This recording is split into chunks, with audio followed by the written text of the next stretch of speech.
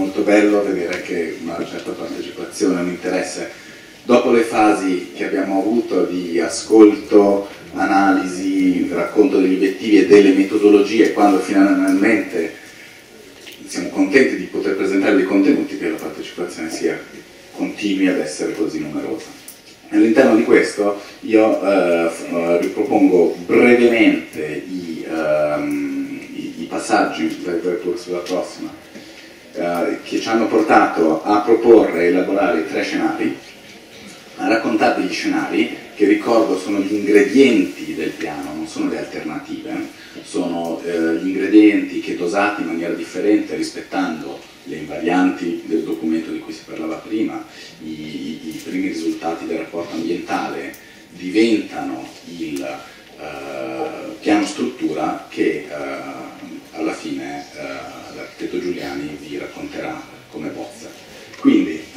molto brevemente,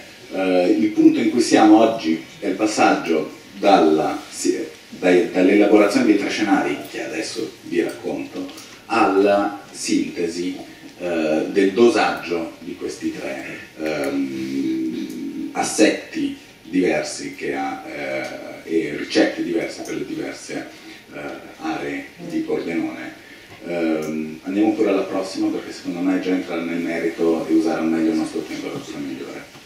Allora, siamo partiti dall'interpretazione uh, di uno scenario di rigenerazione urbana che uh, ha come parola chiave eh, non solo rigenerazione ma il eh, consumo eh, ridotto, annullato di aree greenfield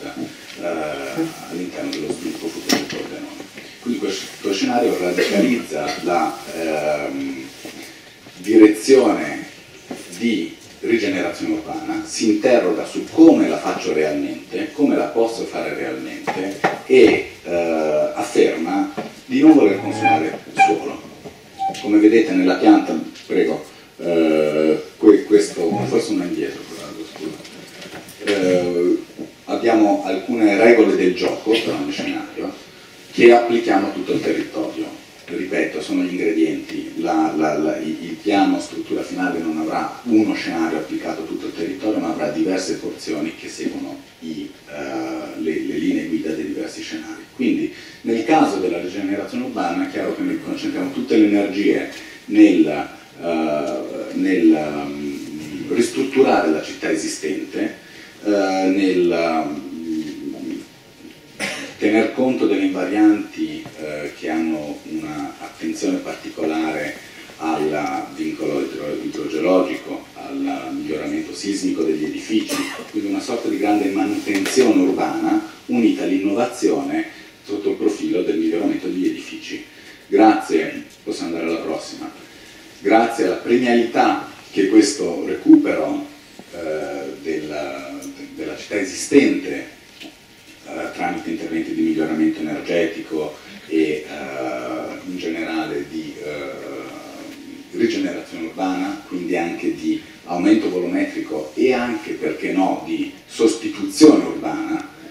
eh, andiamo a creare una, uh, una maggior densificazione della città compatta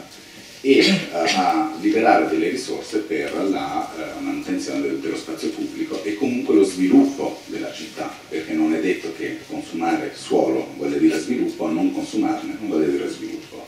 Quindi, possiamo andare alla prossima.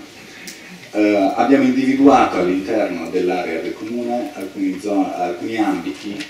anche grazie a, eh, appunto è stato detto che si stanno elaborando diversi piani, eh, c'è mm,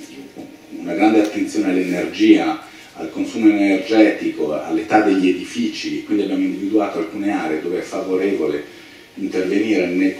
nell'ambito della rigenerazione, è sostenibile anche probabilmente economicamente e eh, come eh, densificazione della città e quindi in questo caso noi concentriamo tutte le energie su un quartiere tipo che abbiamo preso e vi racconteremo secondo i tre scenari,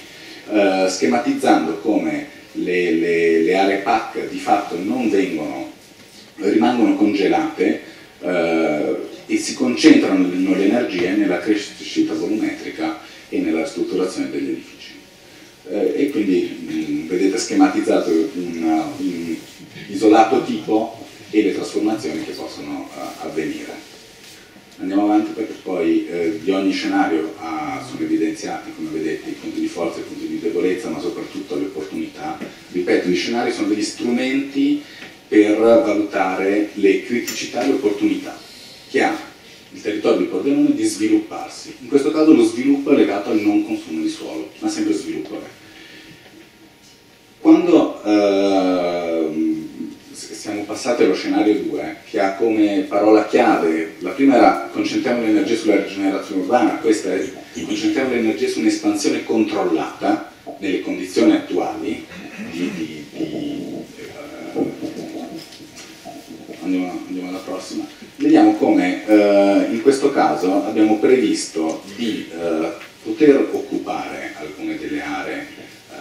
che avete visto prima, ma se e solo se si verificano delle condizioni. Cioè usare la eh, capacità edificatoria che hanno queste aree per dare qualità sia alla città esistente che ai nuovi sviluppi che avverranno in queste aree. Quindi eh, la maniera più, più, concreta per farlo è attraverso una concorsualità. Se vengono concessi annualmente un tot di diritti volumetrici, in questo caso questi diritti volumetrici vengono vinti dai progetti che hanno maggior qualità. Qualità chiaramente che è relativa ai progetti stessi, ma sapete benissimo che se un progetto consuma meno, produce verde, produce ossigeno, diventa anche un bene collettivo della città. Quindi eh, abbiamo stilato delle tabelle qualitative degli edifici per dire come eh, questa concorsualità annua può rilasciare eh, e può costruire di fatto delle aree come quelle PAC, mm, andiamo anche alla prossima, non solamente sul criterio dell'edificio stesso, ma su, su, su una valutazione delle ricadute edilizie, ambientali e sociali dell'intervento stesso, per permettere un'occupazione eh, e una nuova costruzione. Chiaramente eh, c'è un ulteriore elemento che abbiamo posto, cioè tutte le aree in attesa di essere, eh, come dire, di vincere un concorso perché hanno eh, la, la, tempistica e la qualità necessaria, nel frattempo sono soggette da parte dei proprietari eh, a un intervento comunque di risistemazione ambientale, abbiamo chiamato preverdisman, cioè vengono piantumate, producono ambiente, producono eh, qualità per la città e quando il progetto proposto, andiamo alla prossima, accoglierà eh, e, e, vincerà questa concorsualità annua, eh, potranno accogliere anche la costruzione, ma intanto in tutto il percorso eh, produrranno già un, un, beneficio collettivo. Quindi vedete che in questo caso alcune aree escono dal perimetro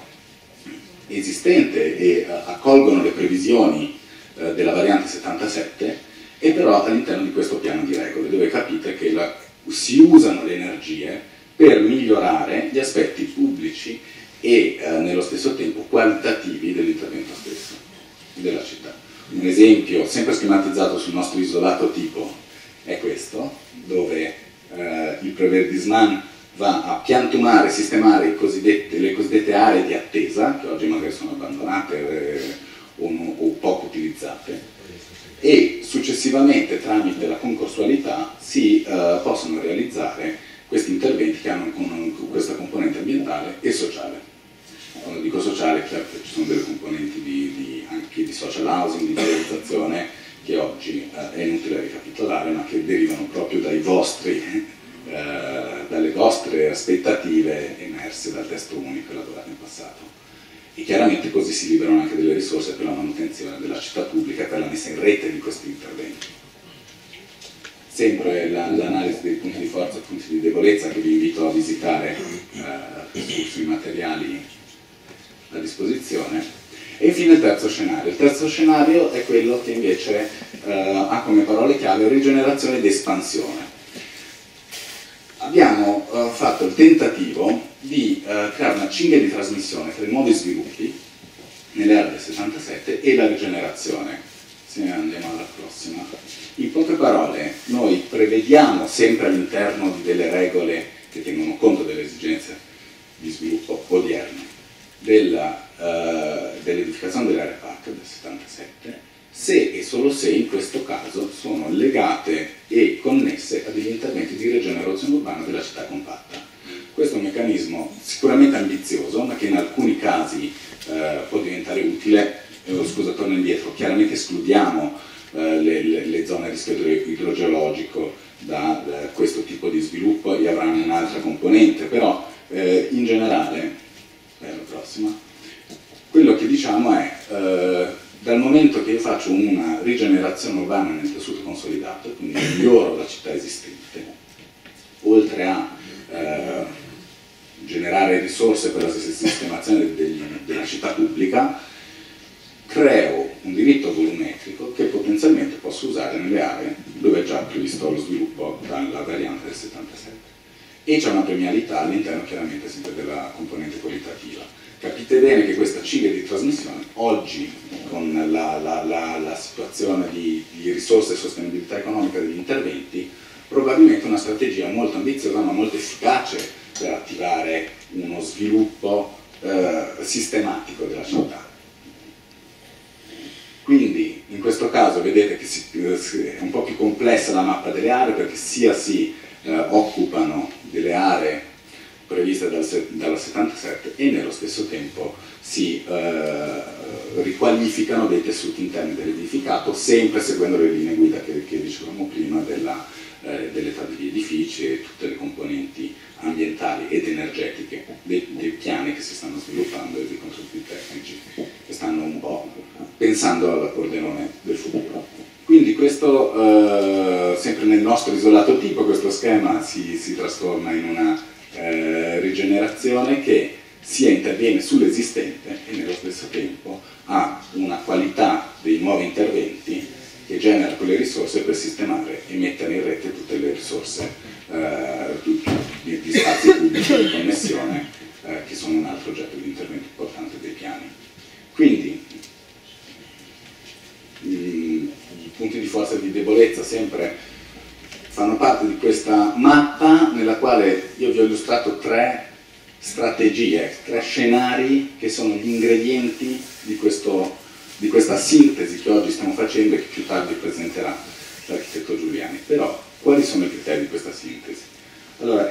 abbiamo già raccontato in un incontro precedente il perché questo è un metodo efficace per progettare la città oggi, perché permette di aggiustare il tiro, permette delle componenti di flessibilità che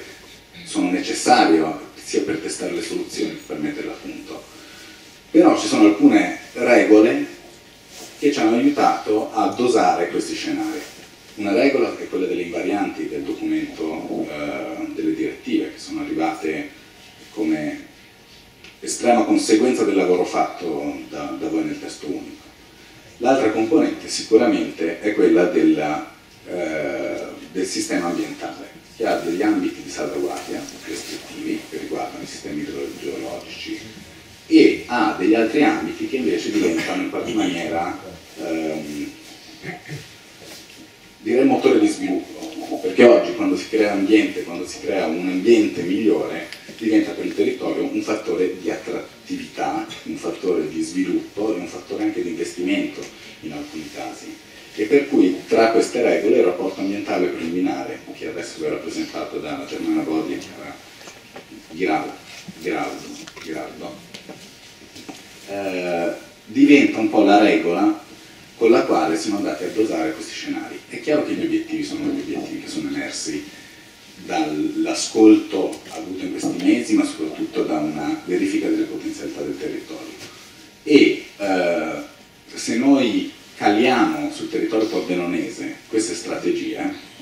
non abbiamo il nostro isolato tipo che raggruppa tutti e tre gli scenari contemporaneamente, però abbiamo delle aree che si adattano a questo tipo di sviluppo. E quindi eh, solamente eh, sovrapponendo il, le potenzialità degli scenari, le restrizioni ambientali e le componenti di sviluppo ambientale e infine il lavoro che viene continuamente fatto di eh, sovrapposizione di informazioni che arrivano dagli altri piani, noi oggi siamo in grado di presentarvi la bozza di quello che stiamo facendo, cosa che più tardi farà l'architetto Giulio.